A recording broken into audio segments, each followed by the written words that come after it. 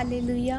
Praise the Lord I love you ये नया महीना आप सबकी लाइफ में ढेर सारी आशीष, खुशियाँ और बरकत को लेके आए। प्रभु यीशु मसीह के सामर्थ्य और पवित्र नाम में हम मांगते हैं। आमीन। आप सब लोग ब्लेस है, कलेसिया। God bless you all of you स्वागत है आप सबका हमारे यूट्यूब चैनल में। डेली वर्ड ऑफ़ गॉड के लिए सब्सक्राइब करें हमारे YouTube channel Holy Ghost Production को और बेल आइकन को ज़रूर दबाएँ। तो आइए, हम मेरी भविष्यवाणियों की पुस्तक में से आज के पवित्र वचन को पढ़ते हैं, जो परमेश्वर के दास प्रेरित अंकुर यूसुफ नरुल्ला जी के द्वारा लिखा गया है। हमारा आज का पवित्र वचन है, परमेश्वर के राज्य में बलपूर्वक प्रवेश करें, जैसे मरकुस पाँच अध्याय उसके अट्ठाईस उनतीस आयत में लिखा, क्योंकि वह कहती थी, यदि मैं उसके वस्त्र ही को छू लूँगी तो चंगी हो जाऊँगी, और तुरंत उसका लहू बहना बंद हो गया, और उसने अपनी देह में जान लिया कि मैं उस बीमारी से अच्छी हो गई। हालेलुया। मेरे प्रियो, बाइबल में लिखा है कि परमेश्वर के राज्य में बलपूर्वक प्रवेश किया जा सकता है। परमेश्वर आज भी अपनी नवियों के द्वारा अपना वचन भेजकर आपको छुड़ाता है और आपको चंगा करता है। अपनी मर्ज़ी को आपके जीवन में ज़ाहिर करता है।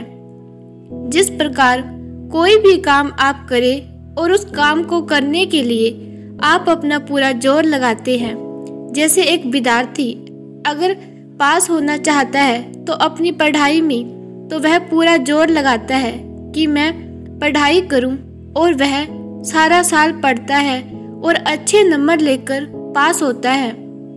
उसी प्रकार से परमेश्वर के राज्य में प्रबलता से प्रेस प्रवेश कर सकते हैं। अपने आप चंगाई और बरकत नहीं मिलती। आपको ज़ोर लगाना पड़ता है अपनी चंगाई, बरकत के लिए। जिस प्रकार हम बाइबल में एक लहू बहने वाली औरत के बारे में पढ़ते हैं कि 12 साल से उस औरत को लहू बहने का रोग था। क्या उसने कभी भी दवाई नहीं खाई होगी? क्या उसने कभी टेस्ट नहीं करवाए होंगे? परंतु बाइबल बताती है कि वह डॉक्टरों के पास अपना पैसा भी खराब कर चुकी थी, पर उसे कोई आराम नहीं मिला था। जब उसने प्रभु यीशु मसीह के बारे में सुना तो वह घर में नहीं बैठी कि काश यीशु मसीह मेरे पास, मेरे शहर में आए काश ऐसा हो जाए, क्योंकि मैं चल नहीं सकती। बाइबल कहती है कि उस स्त्री ने परमेश्वर के राज्य में प्रवेश किया।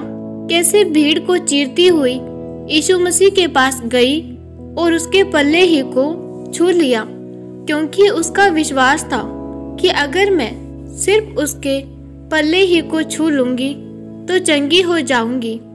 उसने क्या किया? ज़ोर लगाया अपनी चंगाई के लिए। जिस चीज़ में आप कभी ज़ोर नहीं लगाएँगे, उसमें आप कभी फलवंत नहीं होंगे। जिस चीज़ में आप आराम से बैठे हैं, उसमें खुदा आपको फलवंत नहीं करेगा। हर चीज़ का एक मूल्य है, जो महँगी, अच्छी है, उसका एक मूल्य आपको देना पड़ता है। प्रार्थना करने के लिए भी आपको ज़ोर लगाना पड़ता है।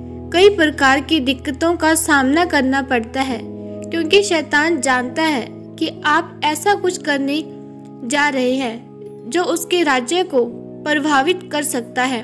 लेकिन आपको डरना नहीं है, आपको पूरे ज़ोर के साथ प्रार्थना करनी है।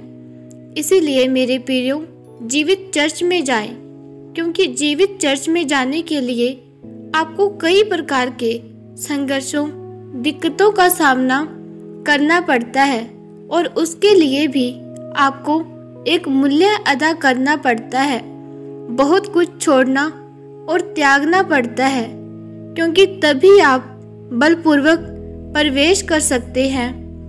और जब आप ऐसा करेंगे तो परमेश्वर आपको बहुत आश्रित करेंगे। उस लहू बहने वाली औरत की तरह अपनी चंगाई, मुक्ति उधार बरकत को बलपूर्वक परमेश्वर से ग्रहण करे। आमीन आमीन। प्रार्थना, यह प्रार्थना आपके द्वारा की जाए। सर्वशक्तिमान परमेश्वर, इस वचन के लिए मैं आपका धन्यवाद करती हूँ। पिता परमेश्वर, मुझे अनुग्रह दीजिए ताकि मैं आपके राज्य में बलपूर्वक प्रवेश करती जाऊँ और कभी डरूं ना।